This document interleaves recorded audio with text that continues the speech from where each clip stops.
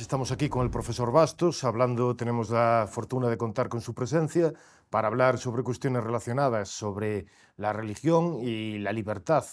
Entonces, pues eh, muchas gracias por estar aquí. Muchas gracias, profesor Carreiro, por la amabilidad.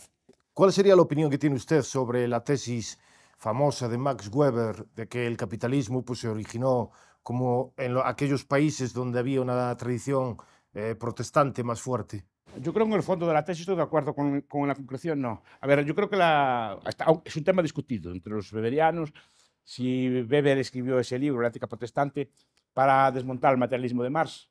Marx creía que solo las fuerzas materiales determinaban la, la base económica, dice, no, es al revés, es la, es, es la, base, la base cultural, la base religiosa, la base eh, social, la que determina la economía. Entonces, es una discusión, ahí no me quiero entrar porque hay eruditos que dicen una cosa, otros que dicen otra, pero, pero la idea es esa, que la idea de que la religión puede condicionar la economía, yo estoy de acuerdo con ella. Como de, decía en otras ocasiones también, incluso el capitalismo se puede considerar como una tecnología mental sí. o que las ideas eh, o que el, que el, capitalismo en gran medida depende de ideas y de valores, sí. no de cuestiones puramente materiales. El capitalismo es una idea y un valor, y esa idea y valor la religión lo refuerza no, no los agrada. Entonces, la, la hipótesis de ver para mí es correcta. Es decir, la religión, hay muchos tipos de religiones, religiones que, por sus valores, no porque la religión en sí, o, que la gente allí pues, tenga más o menos capacidad, o no sé, sino que los valores que, que, que enseñan determinadas religiones son valores, por ejemplo, a corto plazo, son valores de corte hedonista o de, de disfrutar del momento, así, pues dificulta un poco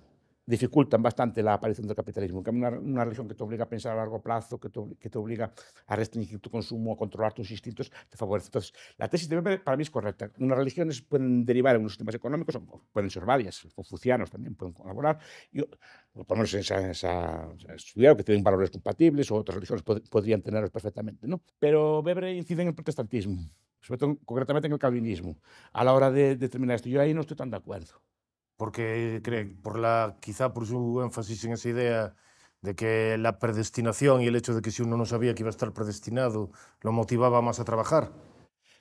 La idea de Weber, si, si la entendí yo bien, cosa que la, que la, entendiera yo bien, es claro que, que lleva a una, ese tipo de religiones conducen a una vida frugal, que no, que no se puede consumir, algunas, los quakers, por ejemplo, ¿no? que no, no, tenían prohibido el consumo de lujo. Entonces, todo lo que ganaban lo reinvertían. Entonces, son religiones que, que sancionan mucho el trabajo, que sancionan mucho eh, el ahorro, la frugalidad, el no consumir, el vivir austeramente, favorece la religión. Lo que pasa es que el calvinismo no necesariamente conduce a todos los aspectos positivos de una, de una, de, del capitalismo. Por ejemplo, Rothbard insiste mucho en la, en la idea de que los mmm, valores protestantes refuerzan la idea del valor trabajo. Y eso no, no favorece precisamente el, el auge del, del, capitalismo. Sombart, por ejemplo. De, de hecho, eh, creo que Rothbard, siguiendo las ideas de Emil Cauder. Eh, criticaba a, a, Adam Smith por su énfasis en esa idea del valor trabajo y él creía que eh, el hecho de estar influido en cierta medida por el protestantismo podía haber influido también en el desarrollo de esa idea. Esa es, esa es su tesis, sí. Pero, por ejemplo, autores como Sombart en El burgués, o La quinta esencia del capitalismo, que es un libro así, ahora es poco conocido. Él dice que el, el, capitalismo florece mejor en medios católicos y es fácil de comprobar, ¿eh? porque la gente piensa que el, el capitalismo, primero, el capitalismo los sitios muy calvinismo, el calvinismo puro es en Escocia. En Escocia no, no, hubo revolución industrial, precisamente, es en la Inglaterra anglicana, pero también lo hubo en Flandes. Y Flandes, como sabemos, es una zona culturalmente católica. ¿No? o, en otras, en otras zonas de, de, Pero se puede ver perfectamente, que no, pero para nada dificulta. O sea, no hubo nada en el catolicismo que, que impidiera esto, incluso que adelantara.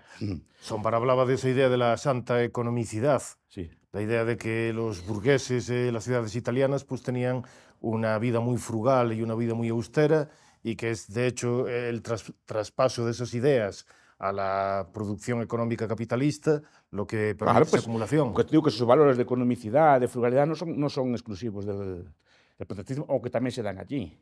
De hecho, por ejemplo, los bancos italianos de la Edad Media, ¿no? es decir, hay, una, un florecimiento económico. Y los pensadores económicos, San Bernardino, San Antonino, eso, pues, la idea de seguros, ese, ese, tipo de ideas son, están desarrolladas en la Edad Media católica. Uh -huh. de, de, David Landes tiene ideas similares, por ejemplo, al hablar de que la, eh, él remontaría el, los orígenes del capitalismo incluso a los eh, monasterios medievales, con la idea, por ejemplo, de medir el tiempo, la, sí. el desarrollo de tecnología como los relojes sí. o como las gafas incluso también. Sí, las gafas, las gafas duplican el tiempo de trabajo.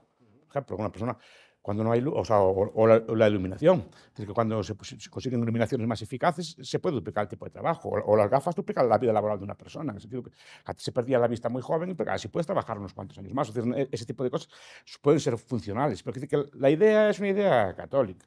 Otra cosa es cómo se expande a nivel social, porque el capitalismo, la gente piensa que es, es una cosa así como natural. No, el capitalismo tal cual lo entendemos, nace en unos sitios concretos, en unas épocas concretas, y después de ahí se va extendiendo como una mancha de aceite, por imitación. Por imitación. Es decir, los, los, los países que, que, ven que sus vecinos progresan no le queda otro remedio que, que, pero, o sea, que ahí entra, entramos en temas como la fragmentación y ese tipo de temas. ¿no? Pero la idea, porque digo, a día de hoy se puede comparar fácilmente. Los países más ricos de Europa pues, están, son católicos. Bueno, no todos, pero sí que son, muchos de ellos son, son católicos, pero la comparación además es fácil.